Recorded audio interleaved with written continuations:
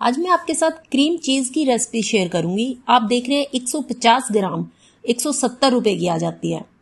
घर में ये बिल्कुल सस्ती बनकर तैयार होती है और बहुत ही अच्छी, एकदम परफेक्ट बाज़ार जैसी बनकर तैयार होती है। तो चलिए शुरू करते हैं।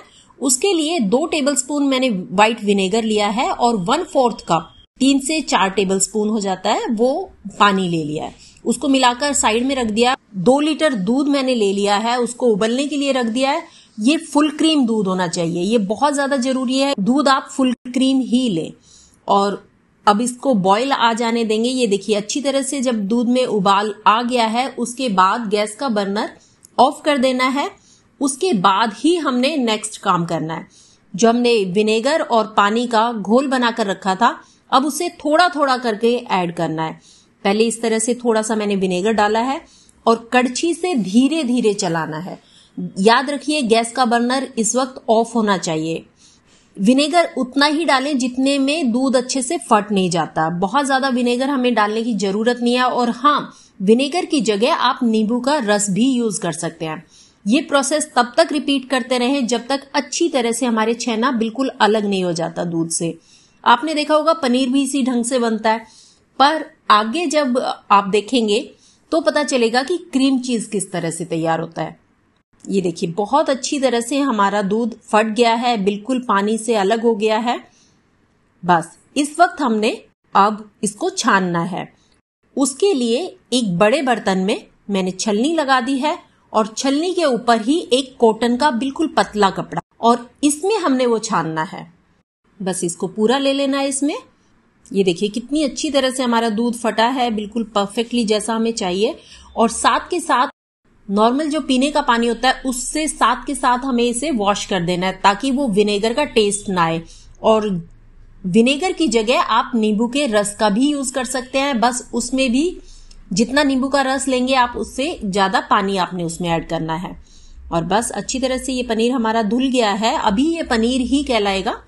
अब इसको बहुत ज़्यादा जैसे पनीर को रात भर के लिए लटका देते हैं या निचोड़ते हैं अच्छी तरह, वैसे हमें नहीं करना है। और ये जो पानी है, ये वेस्ट नहीं करना चाहिए, ये बहुत हेल्दी है।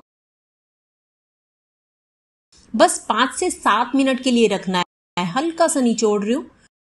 ये देखिए, पाँच मिनट हो गए हैं और आप देख रहे हैं इसमें थोड़ा और भी पानी वो निकल गया है, जो दूध है वो निकल गया है। अब इसको भी खोल कर देख लेते हैं। इसमें मॉइस्चर होना चाहिए। ये बिल्कुल ही सुखाना नहीं है हमने। ये देखिए, बस इस तरह की कंसिस्टेंसी हमें चाहिए। बस इसे अब मिक्सी के जार में ले लेना है और साथ ही हमने बटर इसमें ऐड करना है। बटर मैं इसमें सॉल्टेड ले रही हूँ। अगर आप सॉल्टेड बटर का यूज़ नहीं कर रहे हैं तो आप एक पिंच नमक इसमें ज़रूर ऐड करें। आप देख रहे हैं कि शुरू में मैंने मिक्सी के जार में इसको चलाया तो इस तरह का तैयार होगा। तो ऐसा ना करें कि इसमें कोई लिक्विड ऐड कर दे। नहीं, चम्मच से बस इसको अच्छी तरह से नीचे तक इस तरह से चला दें। और इसको फिर दोबारा से ग्राइंड करें। ये बिल्कुल स्मूथ हो जाएगा, पर कोई भी लिक्विड हमने ऐड इसमें नहीं करना है।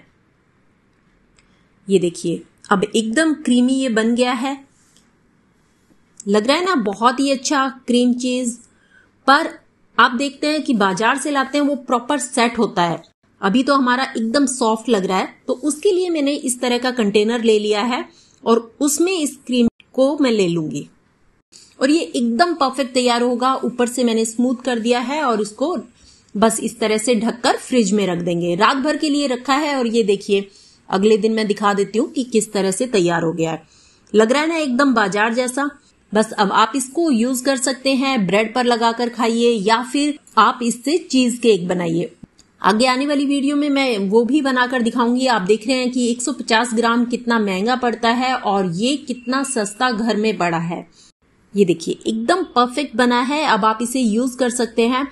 और चीज़ केक बनाने में तो इसका बहुत ज़्यादा ज़रूरत हमें पड़ती है और आसानी से नहीं मिलता है। अब वो प्रॉब्लम नहीं है, इतना महँगा क्रीम चीज़ खरीदने की कोई ज़रूरत नहीं है, क्योंकि आसानी से आप घर में इतना ज़्यादा चीज़ केक बना सकते हैं और वो भी इससे काफ़ी कम कीमत में। तो आप ज़रूर इस रेसिपी को ट्राई कीजिए और एकदम बिल्कुल सिल्की ये क्रीम चीज़ बनेगा।